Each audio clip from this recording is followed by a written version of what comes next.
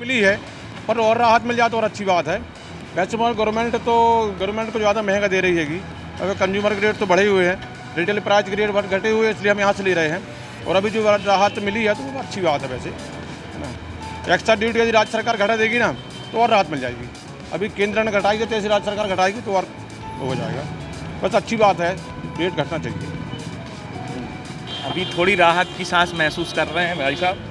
क्योंकि अभी तो एक रुपये रेट था जब अभी इतनी भीषण गर्मी में ये मोदी जी ने बहुत अच्छा नौ रुपये पचास पैसे जो कम किए हैं, ये बहुत अच्छी उनने राहत की सांस माने। थोड़ी सी गर्मी कम हुई है। उस कारण से अभी तो ठीक है। अब आगे जाके और कुछ कम करें तो ज़्यादा बेटर है। क्योंकि अभी पार्षद चुनाव भी हैं अपने जबलपुर में। चुनाव को देखते हुए भी शायद ये उनने किया है। अभी इतने दिन से तो कर ही नहीं रहे थे। बहुत अच्छी बात है कमी आई है तो। जो सक्षम है वो तो चलो ठीक है जो कम कमाते हैं जिनका थोड़ा परिवार में कम कमाई है उनके लिए बहुत अच्छी बात है।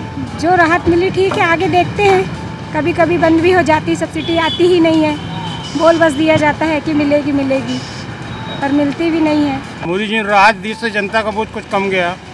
जनता को थोड़ी खुशी है इस बात की। और से आगे मैं ये मतलब वो करता हूँ कि मोदी कम से कम महँगाई में भी कुछ अंकुश लगाएँ। क्योंकि तो आप देख रहे हैं कि दो सालों में पेट्रोल के रेट लगभग तीस रुपये तक प्रति लीटर बढ़ चुके हैं और वो बीच में बढ़ाते हैं, फिर दस रुपये कम कर देते हैं। तो बीस रुपये तो पहले से ही बढ़े हुए हैं ज़्यादा।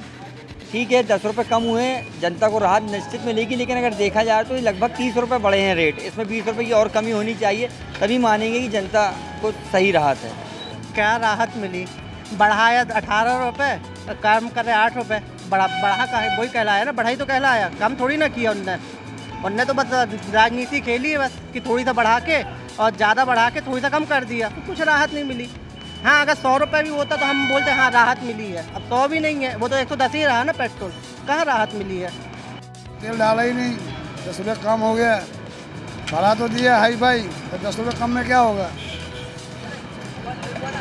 दस रुपये कम में क्या हो गया? सत्तर तो आया नहीं ना, अस्सी भी नहीं आया, एक सौ बीस हो गई।